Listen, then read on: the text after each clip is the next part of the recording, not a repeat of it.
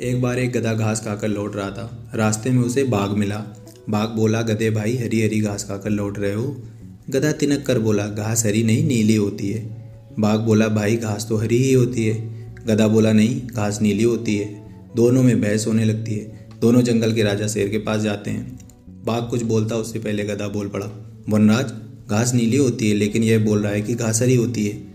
शेर बाघ की तरफ़ घूरते हुए देखता है और बोलता है मैं बाघ को एक साल मौन रहने की सजा देता हूँ और गधे को वापस जाने के लिए बोलता है।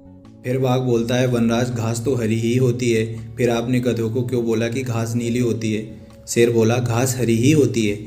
मैंने तुम्हें सजा इसलिए दी है क्योंकि तुमने मेरा टाइम बर्बाद किया है। तुम जानते हो, वह तो गधा ही है, लेकिन तुम तो समझदार हो।